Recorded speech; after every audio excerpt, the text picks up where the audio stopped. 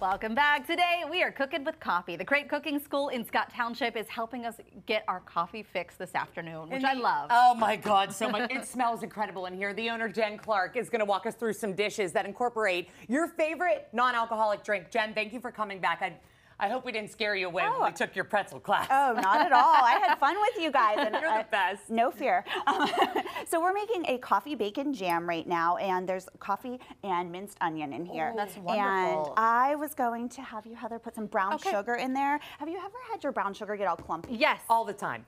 Secret.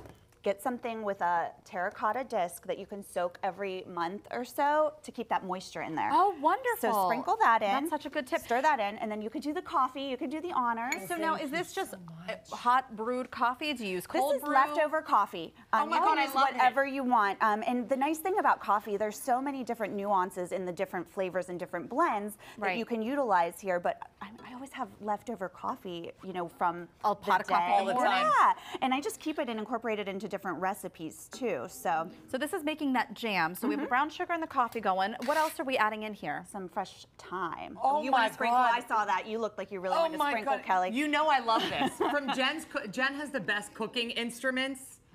Oh, you're one of what those. black this right here. It's the best. So now we're going to just crank this up and let this kind of work its magic. About how long do you let this simmer? about 15 minutes and it, it's going to really tighten up and get jammy if it um, you know gets too dry too fast you can just add a little bit of water or even a little more coffee but um, we're going to let that work but i have some made ahead for you guys of course. Oh. um, and the cool thing about this crostini is you can serve it two ways kind of depending on how the weather is too. So we kind of got a little chilly the last couple days Yeah. so i figured i'd show you both um, opportunities. Um, we have some brie sliced. Brie can be hard to slice because um, it's The so rind and soft, soft the on the rind. inside, yeah. my favorite. I, I like to remove a little bit of the rind because not everyone likes it, and you, the key is to do that when it's really, really cold. Um, and then we're going to slice it down, and we put it on some toast. We use Breadworks baguette, and we just toast it up with some olive oil, salt, and pepper, and then we put our brie on, and then our bacon jam. You can serve at room temperature with some greens on top, or this is warm. And I do like to do a little sprinkle of something fresh on top, though, too. I'm sorry, I can't help myself. Oh, please. it's all about presentation. I know, I know.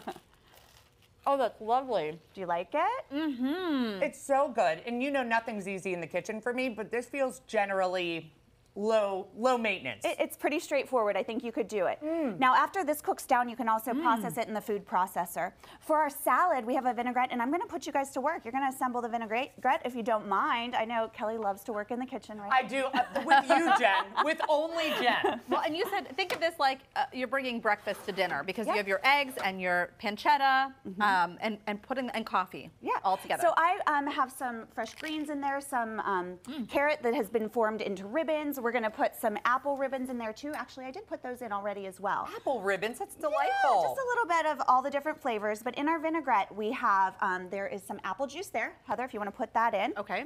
Um, and then of course we have some coffee. Oh. We're using a white balsamic vinegar that's in a little shot glass. Of course, Kelly grabbed that I one. said, don't you worry about that. I'll handle the shot glass. Um, then we have some stone ground mustard. And then um, some local honey. And I have a little spatula because sometimes the honey can be a little hard to get out. Again, with the instruments. Jen So has many. forever the perfect instrument Well, for we have our own um, kitchenware store. So, you know, one of the perks when you come to a class, you get 10% off our merchandise as well. So I like to bring all the things Oh when I come down here you to have the demo. best. And then we want to stream in our olive oil. and I'm just going to keep whisking. Yes, yes. You know, I have to tell you that I'm normally not hungry by dinner time because I am a picker while I eat. Yeah. Do you do, or while I cook? all the time. I, I'm just sitting, like, I'm going to eat this while I'm making the dressing, and then dinner comes, and I'm Right. like, Well, I'm everyone's good. sitting down, and I have other things to do while everyone's sitting. Okay, so we've whisked this up, and this, Easy vinaigrette, and then if you want to pour a little bit over our salad, just a little bit. A little goes a long way, and that's the thing that makes a nice batch. Okay, that's great. And then How we have, beautiful. Did- is this feta, or what did Um, you have? this here? is feta, yeah. Um, I have some plates over there. If we wanted to plate, we could just, you know, kind of make it in the bowl, though. Oh. That's fine. Yeah. Um, let's top with some of our. This is actually hot capicola. Any cured pork product will work well. You can go ahead and use some leftover bacon from here if you didn't use it all.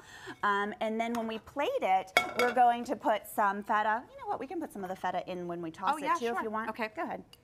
Okay. Let's live a little, do a little Let's of each, right? yeah. Um, and then we can plate it, and then we'll put some hard-boiled eggs on the side. That looks How great. beautiful. Hey, before we let you go, I know we're running out of time. The coffee class we we just found out is sold It is out. sold out, But you sure. do have a wonderful class that's coming up. Yes. Um, and this is your um, pretzel making class, which we did actually. Yeah, yeah. We, we um, have a few spots left in pretzel making. Oh, look, there we are.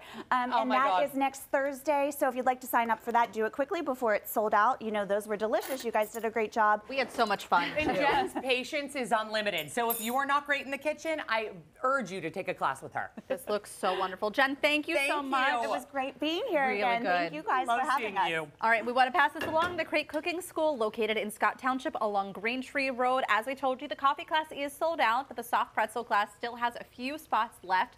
That's on June 20th from 6 p.m. to 9. There's also a tour of the Strip District where they show you their favorite places to shop for ingredients, and that's on June 18th from 10 a.m. to 2:30. You can register for both online, and we're gonna have a link on our website, kdka.com/slash talk Pittsburgh. I just took my first bite of the salad, Jen. Amazing. Unbelievable. And the coffee is real, really subtle. It's delicious. Mm.